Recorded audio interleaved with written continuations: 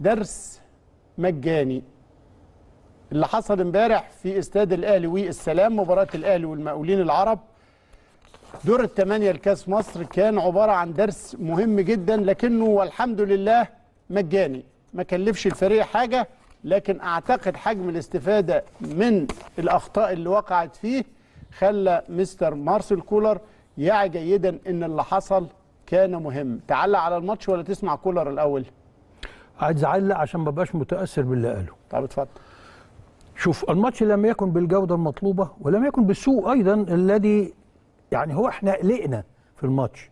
لكن الماتش لم يكن يعني هو ماتش زي ماتشات كتير جدا.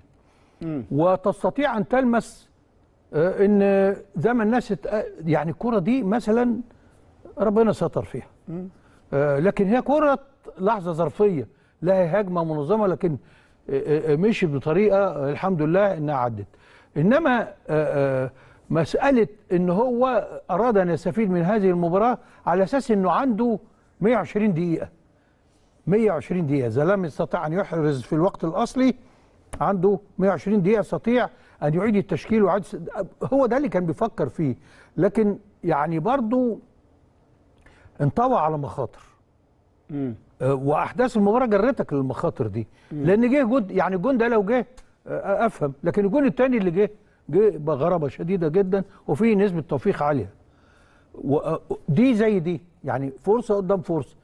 لكن يا أستاذ إبراهيم الذي يدهشني ما أعرفش انت هتقدر تعلق على هذا الأمر ولا إيه إيه اللي بيحصل معانا في التحكيم؟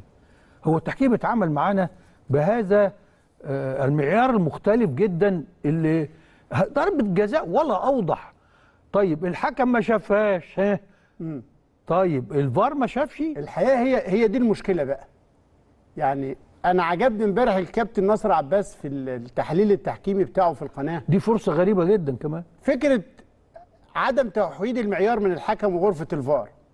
يعني المع... الأخطاء اللي حسبها نادر قمر الدولة. يعني بنفس المعيار وبنفس الطريقة الفنية هي اللي تجاهل بيها أخطاء للأهلي فيهم ضربة جزاء.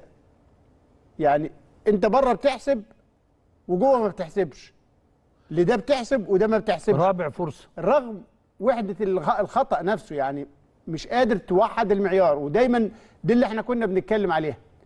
لو الم... لو الحكم عنده شخصية فنية معينة عنده آه طريقة معينة حتى في تقدير الأخطاء فلتكن على الجميع وبره زي جوه. يعني سواء للابيض للاحمر أو للأصفر ما تتأثرش. جوه ال 18 أو بره ال 18 ما تتأثرش. عد لنا يا ابني ال- ال- اللقطة دي تاني لكن لكن اللي حاصل الحقيقة من الحكم كان في اختلال حقيقي. لقطة الهدف. في وحدة المعايير. بص يا أستاذ إبراهيم بص الثرو باس ده.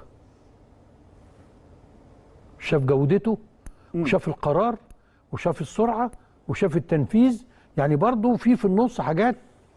بص. كريم فؤاد من لا يعني فاخري يعني رغم خبرته اللي هي مش كبيرة لكن يستطيع أن يقدم مثل هذه التمريرة يعني إن عنده حاجة. آه طبعا. عايزين نصبر عليه شوية يا جماعة لأن الراجل ده آه، هو في قطاع الناشئين واحد من كبار الهدافين آه، أيضا من كبار صناع اللعب وأيضا لعيب يقدر يدافع. وهو دلوقتي رهبة الدر...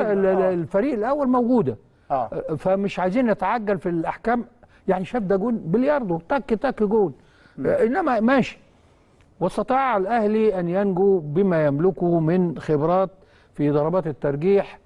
آه، يعني كانت كانت معانا. أنا ما بخاف منها قوي لأنها في في بتتساوى الحظوظ في ضربات الترجيح. طبعا. مجرد لمسة جون أو آه. بره. فانت أنت يعني وبعدين الحكم ده فيه كذا offside ملوش علاقة بال offside. آه. خالص. آه. برضه الف... يعني قول الفار مش هيتكلم. لكن ليه ليه ليه كل الأخطاء العجيبة دي بتحصل؟ ده الخطأ واحد من دول. كان آه يبقى لصالح النادي الأهلي كانت كل ال... ما كناش خلصنا. كل الناس كانت هتقول لك الأهلي والجامل والأهلي offside كاد ان يقلب المباراة مش عارف إيه.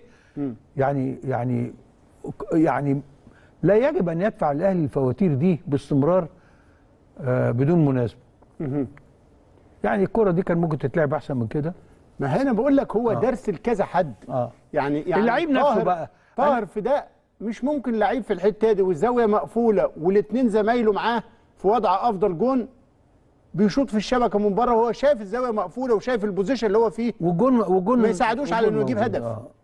يعني يعني ما عندوش فرصة أحيانا أهو مثلا لا دي مش مش دي دي اللي آه، افتكروها جت في ايد اللاعب مش باينة. لا في ضربة جزاء تانية آه، لعيب داس على رجل لعيب النادي الأهلي. يعني عايز أقول إيه؟ يعني أنت أنت يعني لك في في الشوط الأولاني أربع فرص آه، شبه مؤكدة يا أستاذ آه، إبراهيم. ما فيش أيوة. توفيق. آه، هم ليهم فرصتين واحدة منهم جت جون. إحنا أربع فرص خمس فرص واحدة جت جون وضربتين جزاء كان من ممكن أن يحتسبها. أيوه. في ركلات الترجيح بقى؟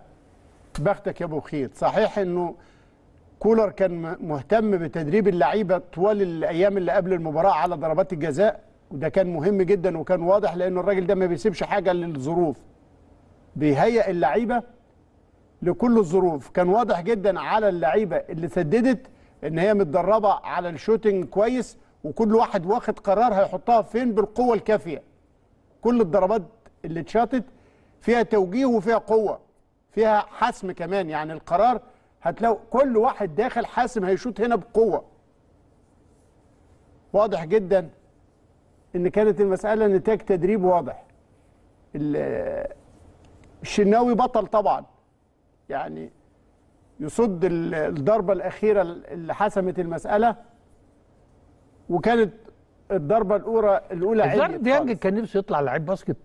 آه. شوف الرميات الثلاثيه اللي بيبعتها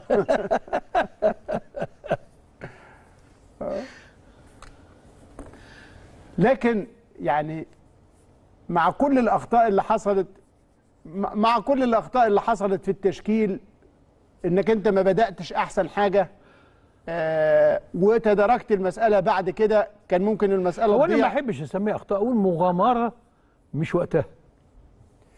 أو تجربة مش في ميعادها بس ما بي هو ال- ال- الخطأ في التشكيل يا أستاذ إبراهيم إنك تنزل واحد مش جاهز تنزل واحد في غير مركزه تنزل إنما إنك أنت آه، كريم فؤاد لعب back right قبل كده وتألق فيه هو كان عايز يجرب طرق عدد التغييرات مرة واحدة ما أنا معاك أنا أثرت معاك. على الشكل. ما أنا معاك آه. أنا معاك بس أنا تفسيري ها آه، إنه كان فاهم إن عندي 120 دقيقة أصلح ما هياش 120 ما هي كان ممكن تخلص في ال 90 لا، انت ال ما- 120 دي افتراضي لا ما كانتش هتخلص في 90 ب- بواقع الأمر حتى بالسيطرة بالفرص بالجون اللي يعني انت هو من جبته. قبل الماتش مش عارف إنه هيلعب 120 دقيقة هيلعب 90 هتمتد لو فضل التعادل.